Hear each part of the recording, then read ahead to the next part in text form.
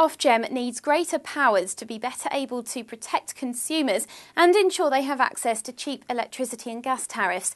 This is according to Secretary of State for Energy and Climate Change Chris Huhne, who told the House of Commons yesterday it's vital the regulator is able to force energy suppliers to pay compensation to customers who have been falsely sold deals.